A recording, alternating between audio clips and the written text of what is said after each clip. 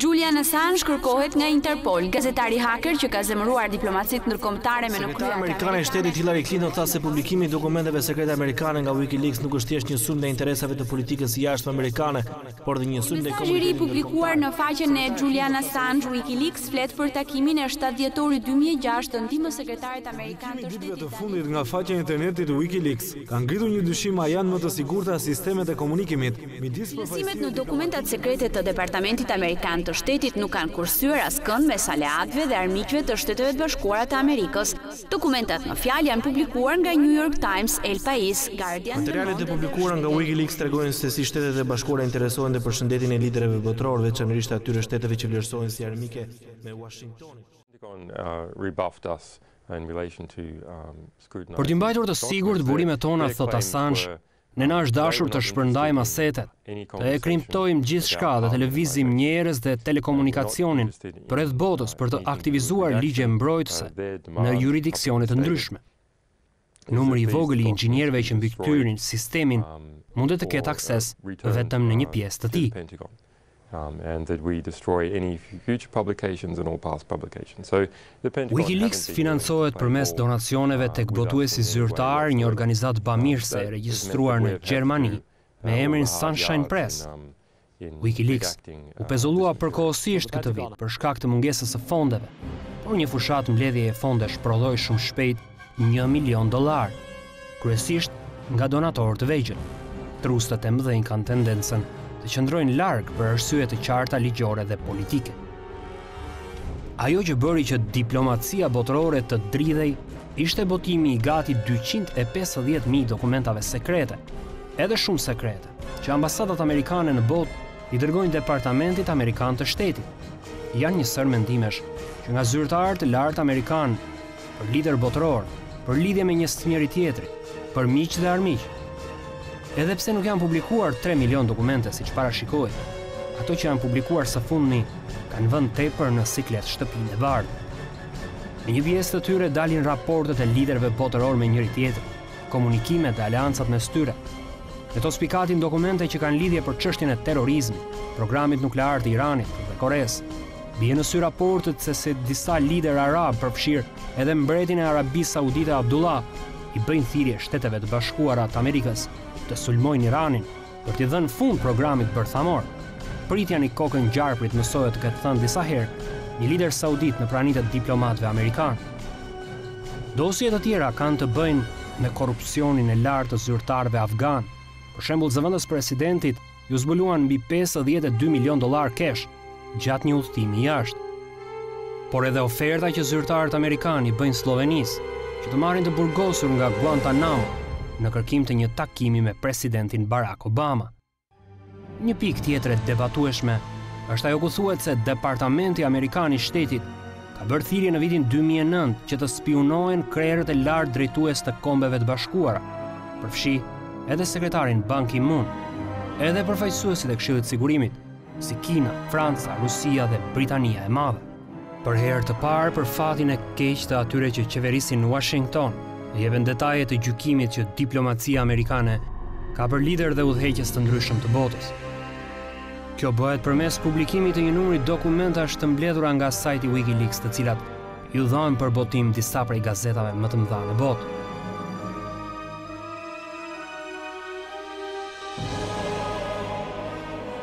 Krerë shtetesh të vendeve aleate, aleatë afatgjatë dhe armiq të vjetër, si Ahmadinexhadi dalin në revistë përmes këtyre dosjeve që përbëhen nga të dhënat e shërbimeve sekrete dhe materialeve diplomatike, po ashtu sekrete.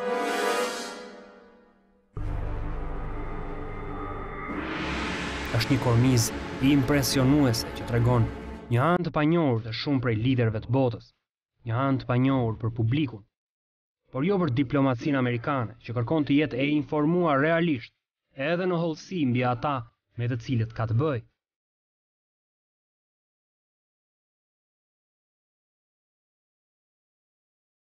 Bëhet fjalë për një sfilatë vesesh, defektesh politike, strategjish, skeletesh në dollap, pra me pak fjalë, për një radiografi top secret të shtetarëve amerikanë nëpër botë, por që tashmë nuk është më sekret.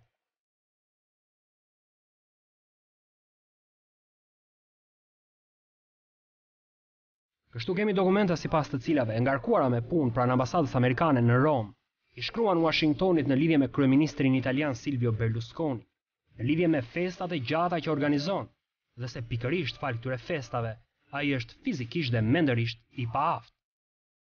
Edhe pikërisht lajmi për festat e Berlusconit ka ngjallur shqetësim për diplomacinë amerikane.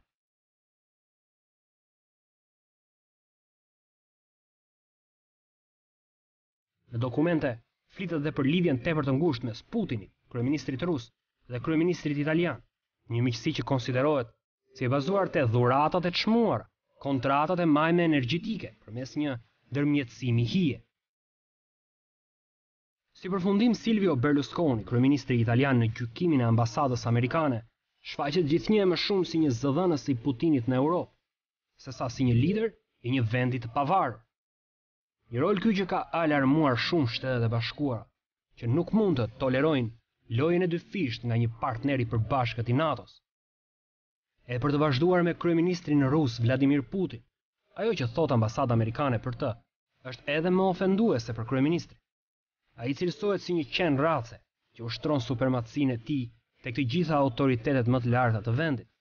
Krahasuar me të presidenti Medvedev, pra lideri që Obama ka zgjedhur si palë për rivendosjen e marrëdhënieve mes vendit të tij dhe Rusisë, ai dhe pse është zyrtarisht në një pozicion më të lartë se Putin, në realitet është krahasuar me Robinin kundrejt Batmanit, pra me pak fjalë konsiderohet si një figurë më e dobët, edhe deri diku vasale ndaj Putinit.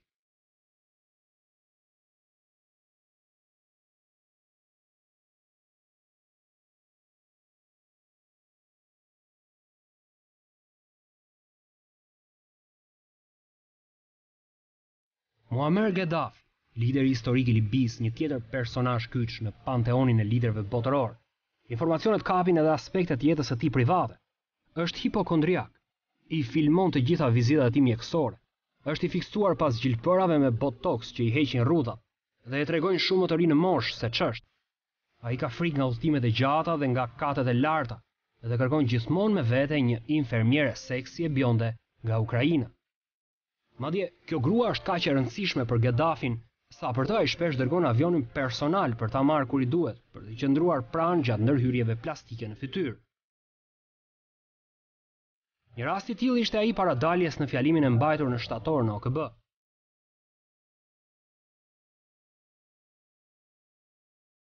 Çdo lloj dobësie personale e liderëve kalohet nëpër filtra dhe përbën një material të çmuar për të gjykuar dhe për të vendosur mënyrën e sjelljes së administratës amerikane kundrejt liderëve të huaj. Gjykimet për Berlusconin janë veçanërisht të rrepta, por edhe të tjerët nuk mbeten më pas.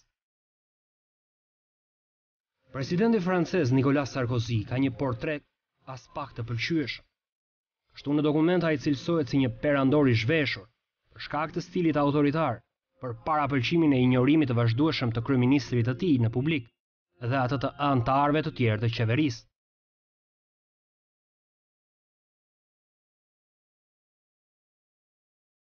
Ndërsa për kancelaren gjermane Merkel, jepet cilësimi si teflon, që është materiali që përdoret për tiganët, në të cilën ushqimi nuk ngjitet. Ajo konsiderohet një kancelare këmbëngulëse, kur ndodhet në vështirësi, por edhe shumë pak kreative.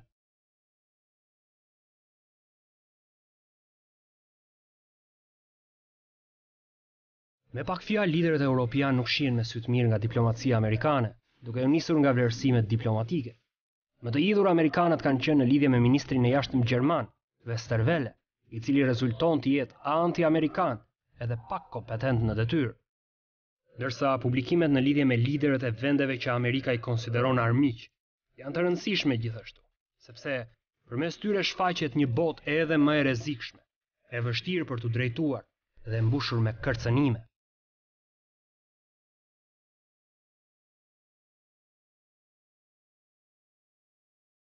Ahmadinejad krahasohet me Hitlerin ose me një Pinochet të ri, për zgjedhjen e të cilit populli iranian duhet të pendohet seriozisht.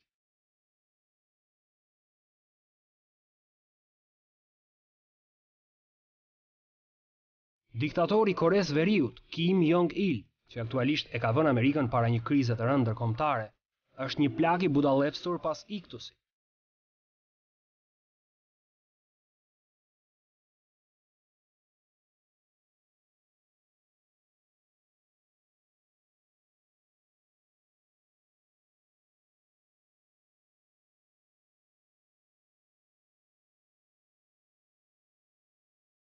Liderët e Kinës janë në fakt mandatorët e vërtetë të sulmit kundër Google që nga viti 2002, sipas disa informacioneve të ambasadës amerikane në Pekin, ka patur një direktivë të drejtpërdrejtë dhe të koordinuar për sabotime informatike në dëm të qeverisë amerikane dhe të aleatëve të saj europianë. Në teatrot më të nxehta të Lindjes së Mesme dhe Azisë Qendrore, Palët e privilegjuara të Washingtonit shfaqen si palë me besuershmëri të pakët, ose edhe më keq akoma.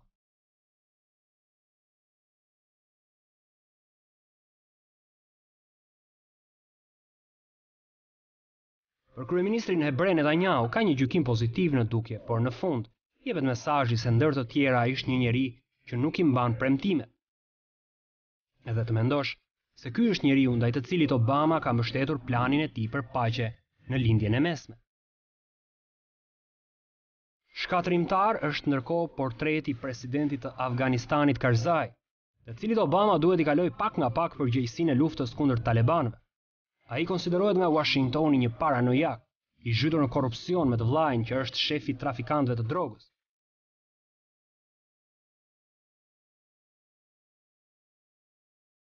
Sekretarja amerikane e shtetit ka kaluar orë të gjata në telefon me shefat e shtetit që shfaqen në dosjet e Wikileaks për t'i qetësuar plagët e sapohapura. Por vetëm diplomacia, ndoshta këtë herë, nuk do të mjaftojë për qetësimin e ujërave. Në të ardhmen do duhen rregulla të reja, mënyra të reja të shkëmbimit të informacionit. Qeveritë e vendeve të përfshira në këtë skandal, madje edhe liderët që janë përshkruar me fjalë të ashpra nga diplomatët e Shteteve të Bashkuara të Amerikës, i janë hakërryer organizatorëve të WikiLeaks që publikuan dokumentat edhe aspak diplomatëve amerikanë, me të cilët janë zotuar se do të ruajnë marrëdhënie të mira. I gjithë materiali i publikuar, i cili realisht u futi të dridhura diplomatëve amerikanë, bashkë me qeveritë e vendeve pritëse që janë përfshirë në biseda konfidenciale, është vënë në dyshim si mashtrim. Qeveritë në mbarë botën i quajtën informacionet problematike dhe komentet të turpshme. Irani ka dhënë përgjigjen më të fortë duke akuzuar Shtetet e Bashkuara se kanë lejuar me qëllim publikimin e korrespondencës konfidenciale diplomatike. Disa pjesë të qeverisë amerikane i kanë prodhuar këto dokumente, tha presidenti Mahmud Ahmadinexhad në një konferencë shtypi në Teheran. Ne nuk mendojmë se ky informacion ishte vjedhur. Ne mendojmë se kjo u organizua që të publikohej rregullisht, pasi ata po ndjekin qëllimet e tyre politike, tha ai. Ahmadinexhad shtoi se marrëdhëniet e Iranit me fqinjët e tij nuk do të dëmtoheshin nga raportet, Iraku gjithashtu iu përgjigj publikimit të mesazheve disa prej të cilave citojnë mbretin Abdullah të Arabisë Saudite duke folur ashpër për kryeministrin irakian Nuri Kamal al-Maliki. Ministri i Jashtëm Hoshiar Zebari i quajti rrjedhjet e informacionit të padobishme dhe jo në kohë. Ai tha se argumentet mund të dëmtojnë përpjekjet e zotit Maliki për të bashkuar qeverinë në Irak. Mesazhet citojnë dhe mbretin Abdullah, duke kritikuar presidentin pakistanez, Asif Ali Zardari me fjalët Kur koka është e kalbur, ajo ndikon në të gjithë trupin. Qeveria iu përgjigj rrjedhjeve me një deklaratë zbutëse, duke vënë në pikëpyetje saktësinë e mesazheve të cituara. Wikileaks është mashtruese edhe në kundërshtim me faktet, lexohet në deklaratë. Arabia Saudite, madhëria e tij mbreti Abdullah bin Abdul Aziz, familja mbretërore dhe njerëzit e Arabisë Saudite kanë qëndruar gjithmonë në krah të Pakistanit. Një zëdhënës i Hamid Karzait tha se përpos mesazheve diplomatike, ku lideri i Afganistanit quhet tmerrësisht i dobët, marrëdhëniet e tyre me Shtetet e Bashkuara nuk do të ndryshojnë. Në përgjithësi qeveritë duket se donin të mohonin disa raporte dhe të shmangnin kritikat ndaj trupit diplomatik amerikan, vlerëson New York Times. Franca tha se qëndron përkrah Shteteve të Bashkuara kundër publikimit të tyre dokumentave që cënojnë demokracinë. Zëdhënësi i Elizesë, François Baroin, tha se gjithmonë ka menduar se një shoqëri transparente ishte një shoqëri totalitare. Ndërsa reagimi i Kremlinit ishte i ftohtë, madje edhe shpërfillës. Të hënën në mëngjes, zëdhënësi i Putinit, Dimitri Peshkov, i tha agjencisë së lajmeve Interfax se ai do t'u përgjigjet mesazheve vetëm pasi të ketë parë tekstin origjinal, duke analizuar përkthimin e disa fjalëve dhe shprehjeve dhe duke përcaktuar nëse ato në fakt i referoheshin zotit Putin.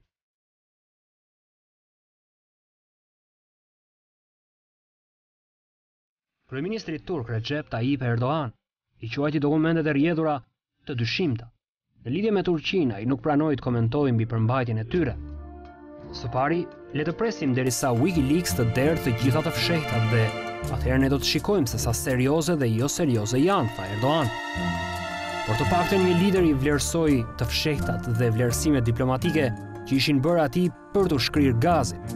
Kryeministri italian Silvio Berlusconi tha se ai kishte qeshur fort, ndërsa lexonte që mesazhet e përshkruanin atë si organizues festash të egra.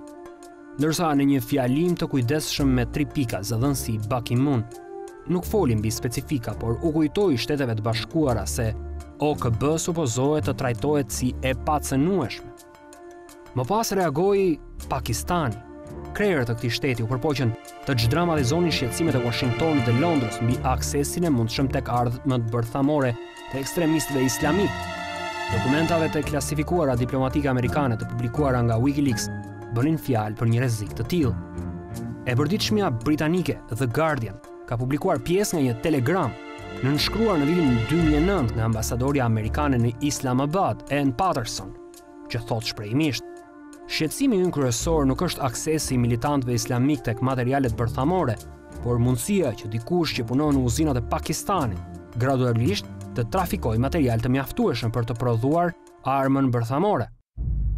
Zëdhënësi i ministrit të jashtëm pakistanes, Abdul Basit, i konsideron këto shqetësime të pabaza dhe të pamotivuara.